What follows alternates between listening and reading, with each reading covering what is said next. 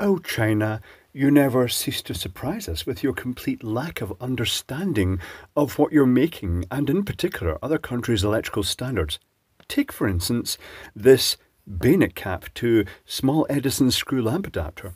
You do win points for the fact that you can't touch the metalwork down here, but that's all the points you're getting because in the UK, as opposed to the American and other country Edison screw lamp holders.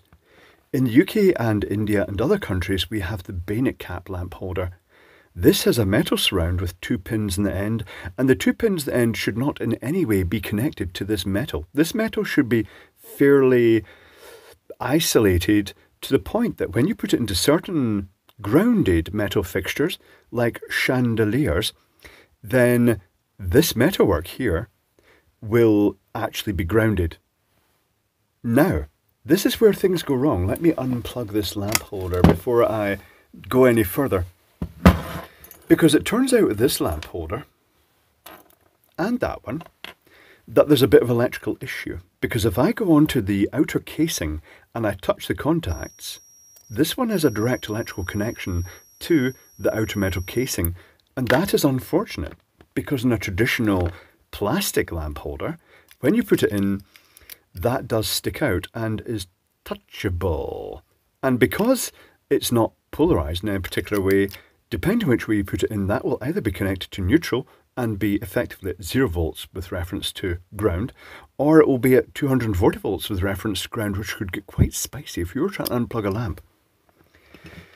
Now, why has this happened? Well, it turns out that they've used a very simple system that is well, in their eyes, compatible with Edison screw and bayonet cap. It has this arrangement where if it was Edison screw, it has one wire at the back that goes to the back pin, and then the side of the lamp housing with this metal tab connects onto the metal housing of the Edison screw lamp holder. But unfortunately, they used the same thing with the bayonet cap lamp holder, but they've added an extra wire onto that and they've put it in, but they've crimped it again with that little contact, the little brass contact here, crimped against the side of the housing. So by default, the housing will always be referenced to one of these pins. Now, to be fair, occasionally you get a British lamp.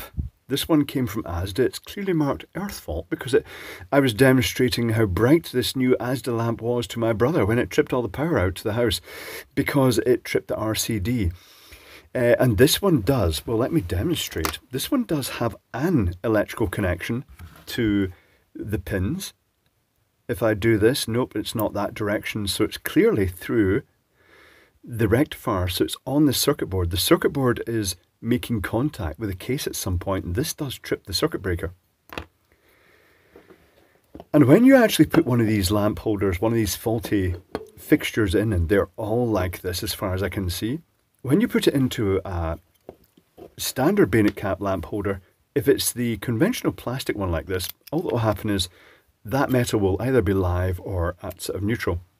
But if you put it into the metal chandelier, it will either connect neutral to earth, which is a, a bit of a random thing with RCDs or GFCIs. It means that above a certain load you'll get tripping problems, or it will do live to earth, which will instantly result in the power tripping usually the RCD trips first or the GFCI.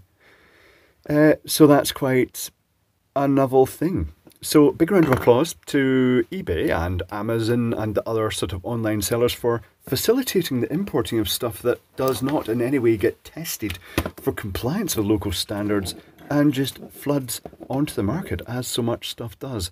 A splendid result, I have to say.